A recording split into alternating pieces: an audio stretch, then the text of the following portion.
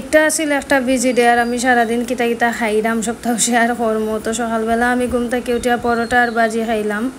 এর বাদে আমি একটা কফি খাইলাম। কফি খাওয়ার বাদে আমি আমার কাপড় চোপড় রেডি করে রাখলাম। কারণ এদিন যে গরমও আছিল প্লাস একটা প্রোগ্রামও আছিল। একটা প্রোগ্রামও যাইতে হইব। তো আমি আবার নিজে নিজে শাড়ি কিনতে পারি না।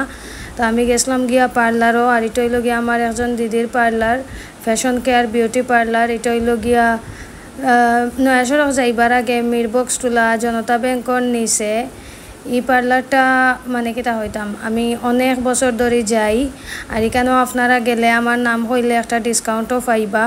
খুব সুন্দর একটা বড় পার্লার। তার বাদে আমি গেছিলাম গিয়া প্রোগ্রামও আমার এখানে একটা প্রোগ্রাম আছিল বন্ধু মহলের লগে। বন্ধু মহল একটা রক্তদান গ্রুপ তারা এখানে বাংলাদেশ থেকে অনেক স্বেচ্ছাসেবী হলি দিন। এখানে উপস্থিত আসলা আর আমি একজন অতিথি হিসাবে গেছিলাম। তো গিয়া লাগছে, আলহামদুলিল্লাহ। একটা ক্রেস্টও পাইছি অতিথি হিসাবে এগুলা তো আর সবসময়ও পাই এর বাদে আমি বাসাতে ইয়া আমার লাঞ্চ অর্ডার করলাম।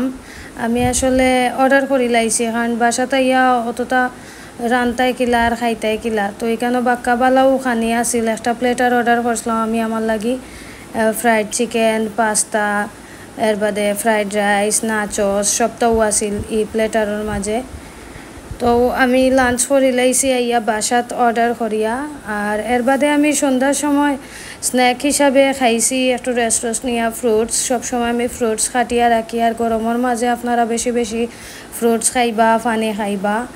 এর বাদে আমি রাত্রে ডিনার করলাম, রাত্রে ডিনারও আমার আছিল মুগ ডাল, আর এদিন আমি সপ্তাহ বাইরে থেকে আনিয়া খাইছি, গরো কিচ্ছুই বানাইছি না যেদিন আমার শ্যুট থাকে বা প্রোগ্রাম থাকে এদিন আসলে বিজি থাকি, তো খিচুড়ি খাইছিলাম আর মুগ ডাইল খাইছিলাম, খুব মন চাইছিল। আর ড্রিঙ্ক তো আর সবসময় থাকে খানির লগে।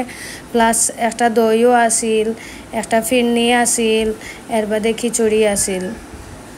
আর এই গরমের মাঝে আপনারা দই ড্রিঙ্ক এর বাদে বেশি করে পানি ফ্রুটস ওগুলোও খাইবা। তো ও আছিল আমার ডে ব্লগ আশা করি সবর ভালো লাগছে।